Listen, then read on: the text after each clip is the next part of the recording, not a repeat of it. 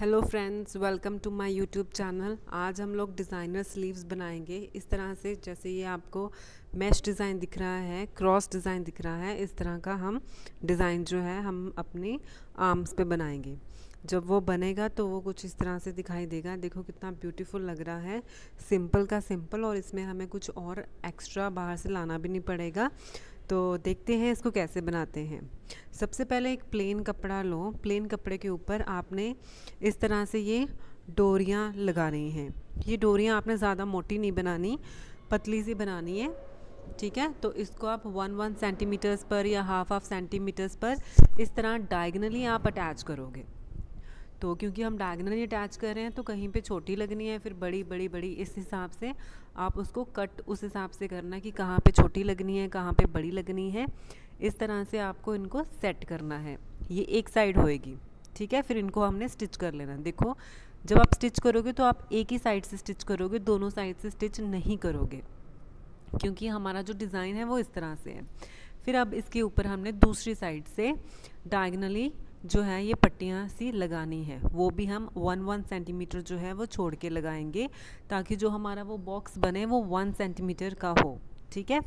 तो जिस डायरेक्शन में हमने पहले लगाई थी, उसकी ऑपोजिट डायरेक्शन से आपने स्टार्ट करनी है। तो देखो, जब हम इसको लगा लेंगे, यहाँ पे भी आपने एक एक ही सीन लगानी है तो इस तरह से ये आपके बॉक्सेस रेडी हो जाएँगे। ये कितना ब्यूटीफुल लग रहा है। सो ब्यूटीफुल इस डिज़ाइन को आप ना कमीज़ के बॉटम पे भी बना सकते हो। तो अब देखिए, ये जो पूरी इसकी विर्थ है, वो है 4.5 और जो मुझे डिज़ाइन चाहिए फोर पॉइंट फाइव है तो मैं क्या करती हूँ, इसको सेंटर से आप, मैं कट कर लूँगी। सेंटर से मैं कट इसलिए कर रही हूँ क्योंकि फिर ये दो पट्टियाँ बन जाएगी, क्योंकि हमारी आर्म्स दो होती हैं तो ये दोनों आर्म्स पे लग जाएँगी। हमने मतलब कि एक बार में ही प्रिपेयर कर ली है दोनों आर्म्स की तो अलग अलग करने की ज़रूरत नहीं पड़ेगी। तो ये काफ़ी टाइम सेविंग प्रोसेस हो जाता है और इसके साथ साथ आ, मतलब कि इजी हो जाता है कि दोनों को अलग अलग प्रिपेयर करने से अच्छा है कि आप सिंगली उसको प्रिपेयर कर लो। फिर जब आपने सेंटर पे लाइन लगा ली है ठीक है तो अच्छे से मेजर करना है इसको कि दोनों जो पार्ट्स हैं वो इक्वल होने चाहिए और फिर हम इसको सेंटर से कट करेंगे ठीक है? इस तरह से आप पूरा टाइम लेके मेज़रमेंट करना, क्योंकि एक बार कट हो गया तो फिर हम चेंजेस नहीं ना कर सकते। तो दैट्स वाई कि इसको पहले ही ध्यान से रख लो। तो अब हम इसको सेंटर से कट कर लेंगे। देखिए, बड़े आराम से कट करना है, क्योंकि यहाँ पे दो स्ट्रिप्स लगी हुई हैं। ठीक है? तो ये थोड़ा धीरे धीरे इसको कट करना है। अगर आपने मेरे चैनल को सब्सक्राइब नहीं किया है तो प्लीज़ करिए। बहुत यूज़फुल वीडियोस हैं, बहुत डिफरेंट डिफरेंट डिज़ाइंस हैं जो कि इतने सिंपल हैं और इतने स्टाइलिश लगते हैं। आपको बहुत सारे आइडियाज़ मिलेंगे, उसको बनाने का वे मिलेगा। तो ये आपको बहुत यूज़फुल होगा। So please please please subscribe my channel like और शेयर भी करिए। तो इस तरह से हम जो है वो कटिंग कर लेंगे। अब देखिए, हमारी ये दो पट्टियाँ रेडी हो गई हैं। तो इस तरह से हमने प्लेन जो हमारा क्लोथ है उसकी भी वैसे ही सेम मेज़रमेंट में पट्टियाँ काटनी है। तो आप जो ये रेडी पट्टियाँ हैं, इसको आप दूसरे जो कि सिंपल क्लोथ है, उसके ऊपर रख के आप वही मेज़रमेंट में आप कट कर सकते हो। दोनों के लिए बनानी है आपने, ठीक है? और फिर इसको आप कट कर लेना। ये बेसिकली हम लोग क्यों कर रहे हैं ताकि जो हमारा डिज़ाइन है, वो हमें फ़ोल्ड ना करना पड़े। ये पट्टियों से वो ऑटोमेटिकली फ़ोल्ड हो जाएगा, उसकी फिनिशिंग बहुत अच्छी आएगी तो एक बहुत अच्छी लुक वो देगा।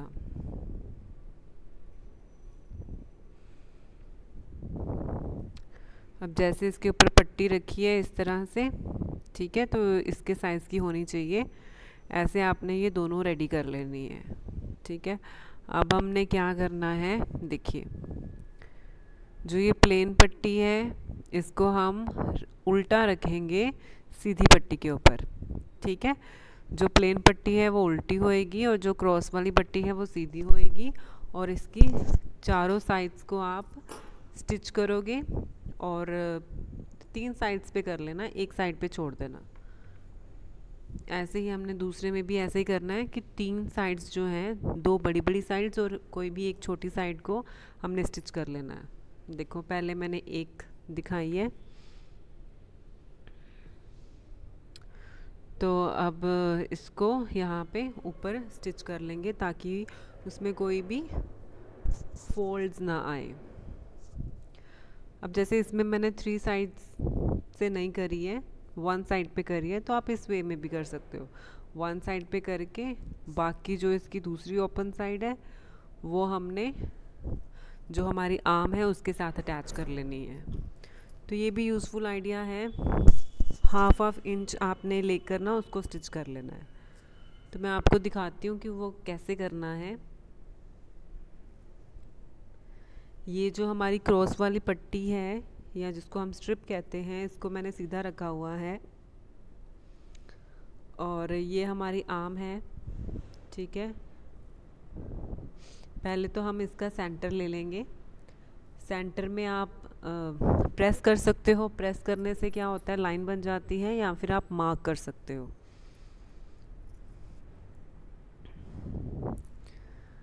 मैं इसमें मार्किंग करूँगी।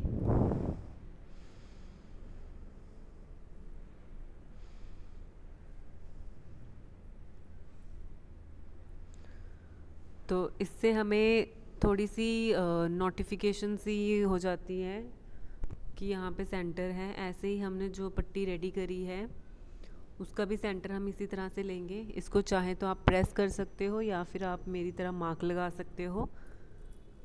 और फिर दोनों के सेंटर्स को हम लोग मैच करेंगे। इसमें हम लोग क्या कर रहे हैं? मैंने, देखो पहले मैंने, जैसे मैं आम अटैच कर रही हूँ ना, आपको वैसे ही करनी है। नीचे वाला जो हमारा बाजू का कपड़ा है, वो उल्टा है। उसके ऊपर जो हम स्ट्रिप का कपड़ा रख रहे हैं, वो भी उल्टा रख रहे हैं और इनको हाफ़ हाफ़ हम लोग स्टिच कर रहे हैं। हाफ़ हाफ़ मतलब कि सेंटीमीटर्स पर हम लोग उसको स्टिच कर रहे हैं।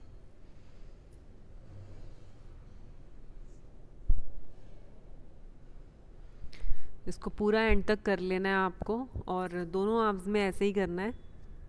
इससे आपकी फिनिशिंग जो है वो काफ़ी अच्छी आएगी।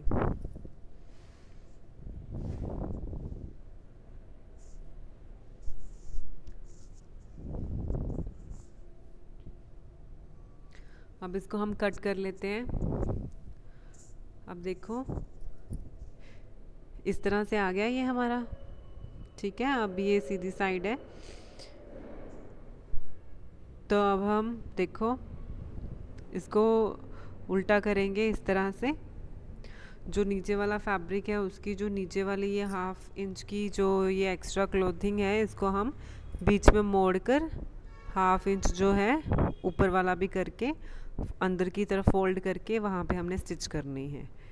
इस तरह से स्टिच करके आपको वहाँ पे सीम लगा लेनी है। यहाँ पे मैं आपको करके दिखा रही हूँ। इसको सेटिंग करने में थोड़ा सा टाइम लग सकता है। आप इसको पिनअप कर लो। पिनअप करके सेट हो जाएगा। या प्रेसिंग कर लो। प्रेसिंग करने से भी सेट हो जाता है। तो इस तरह से सेट करके हम लोग यहाँ पे भी एक स्टिच लगा लेंगे।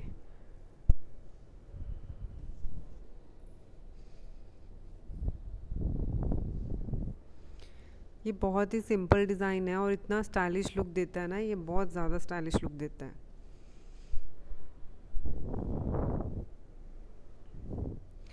इसको जब हम आप फोल्ड कर रहे हो तो बड़े ध्यान से करना है। हाफ़ इंच अगर आपने स्टार्ट करा है फोल्ड करना तो हाफ़ इंच ही करना है। ज़्यादा नहीं करना तो उससे जो है हमारा डिज़ाइन थोड़ा सा ऊपर नीचे हो सकता है, जो कि हमें नहीं चाहिए होता।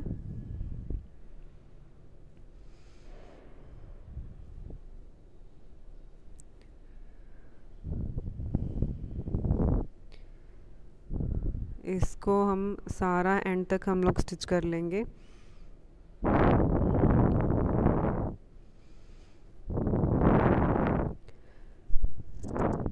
मेरे चैनल पर डिज़ाइनर स्लीव्स के बहुत सारे डिज़ाइंस हैं। जो भी मैं इसमें अपलोड करती हूँ, वो बहुत ही डिफरेंट होता है। कभी सेम जैसा अपलोड नहीं करती हूँ तो आपको इस तरह से बहुत सारे आइडियाज़ मिल जाएँगे डिज़ाइनर स्लीव्स के। डिज़ाइनर नेक्स के, डिज़ाइनर कुर्तीज़ के तो आप मेरे चैनल को ज़रूर सब्सक्राइब करें। तो जब ये इस तरह से हमारी स्टिच लग जाएगी, ठीक है तो ये हमारी आम रेडी हो जाएगी। फिर इसको